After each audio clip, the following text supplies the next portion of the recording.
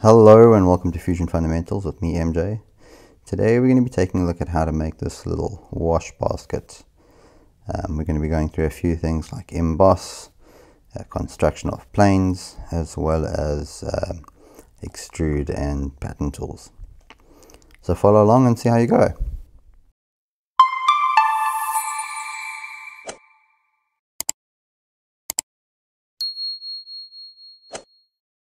We're going to start off by drawing a sketch on the top plane. So create sketch. We'll select the top plane over here.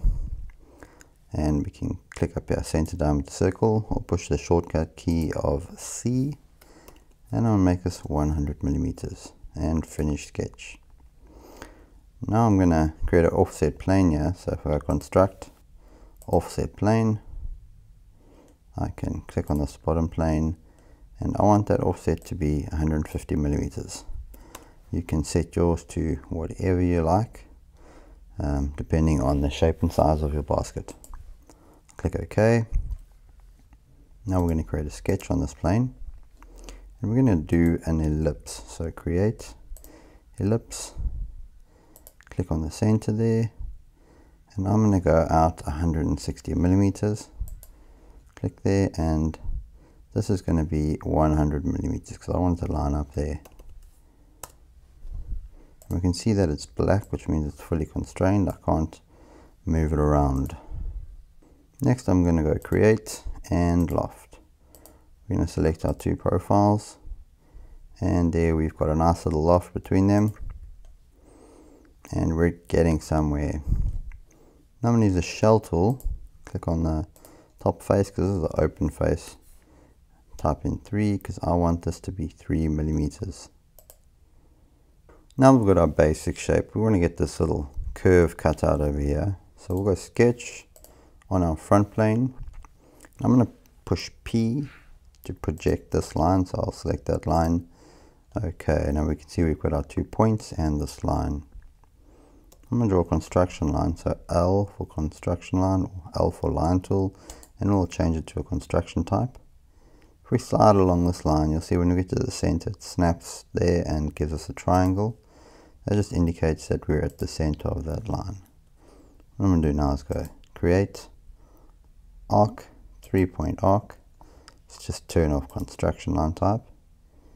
And we'll snap to our two points on the end and onto this construction line that we did. So this will determine the sort of curve of your basket. So I'm going to just eyeball it. I'm happy with that. Click there. I want to just make sure that this profile is closed.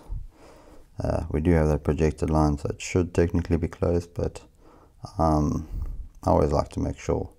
And then I'll just go up a bit. You can see as I touch this line, it shows us there we've got our little blue dotted line. That just makes it in line there. The reason I do this is just to make sure that we've cut the whole profile. You can see we've got that bottom half, but just in case, I don't trust computers sometimes. So extrude, I'll select both of those and go to symmetric. Just go to the side view so you can see, as I drag this out, you can see it's cutting away what we don't want. And it's automatically selecting a cut operation. If I had to go to join, you'd see it would just create a new um, profile on there, but I'm going to go to cut and OK. So we most of the way there now. Um, what I do want to do is we need some handles on the side and we need a few cutouts there in the middle. So I'm going to go to this left view, create sketch, sketch on the left plane and we're just going to have a, a, an ellipse there. So create ellipse I want it to be able to snap to the center here, but it's not doing that readily. So what I can do is P, project this line, same as we did last time, construction line type, L, and we'll snap to the center there, and just draw this one up. So now we've got that line to snap to for our ellipse.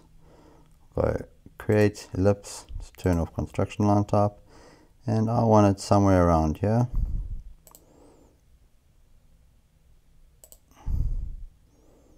And you just figure out what shape you want your handle to be. And okay I'm just going to finish sketch leave it like that. Extrude. Again we'll go symmetric. We just drag it through and it'll cut through that profile. And there we've got our handles for the basket. So now what's left is to create the holes in the basket I'm going to go create sketch on the front plane. I'm just going to do the same thing project make sure I'm getting the center line of the basket. Could draw it off the origin but this is just in case for some reason it's not centered on the origin. I know it is but just to make double sure. We'll draw that line up and now we've got a line to draw our small ellipse to.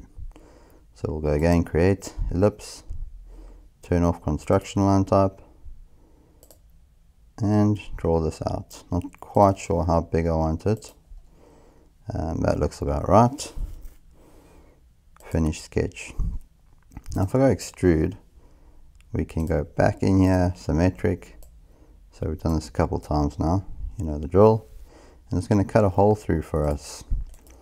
But now that's only one hole. We want a couple. What I'm going to do next is go create and pattern tool and we'll select a circular pattern.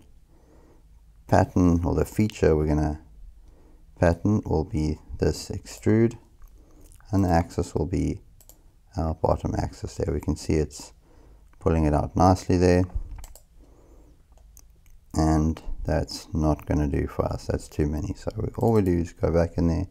We change this down to a reasonable number. I can't actually see so well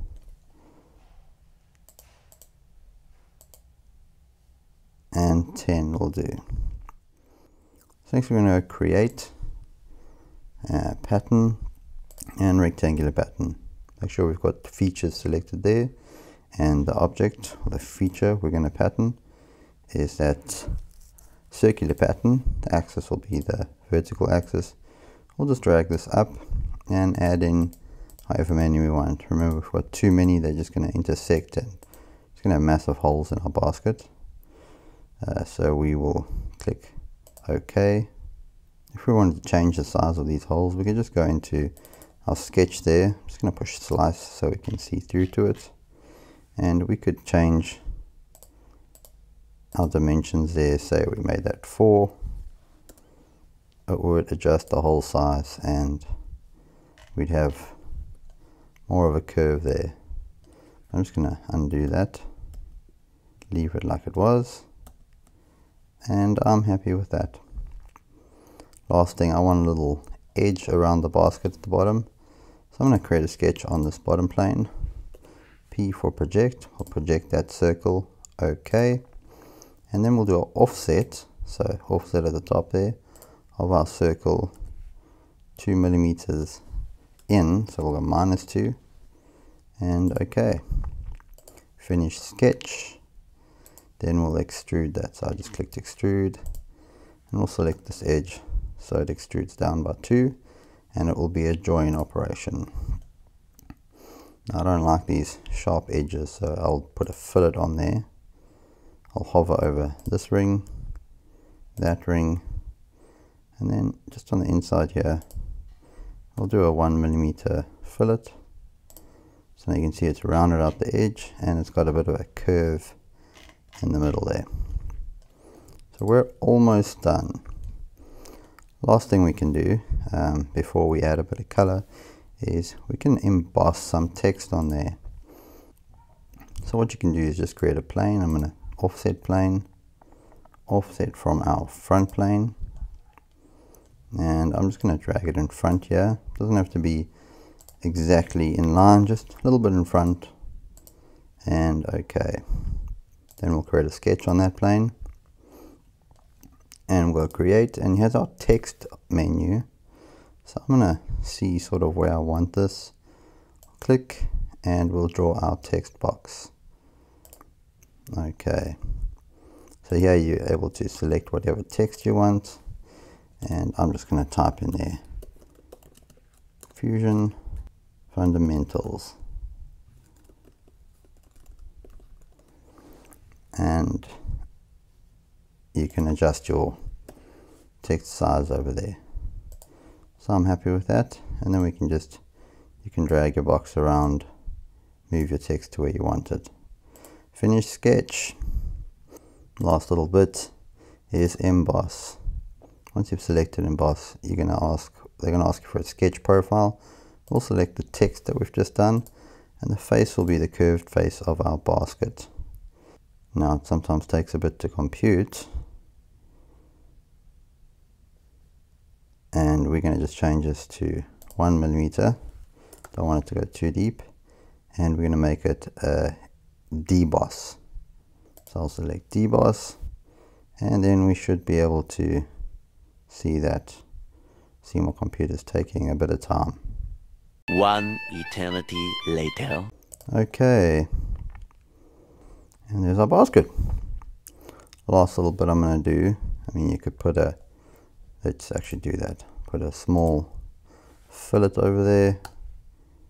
A two millimeter fillet. That looks good. And we'll go S for shortcut menu and appearance. Now I know what colors I like. I like their anodized metal.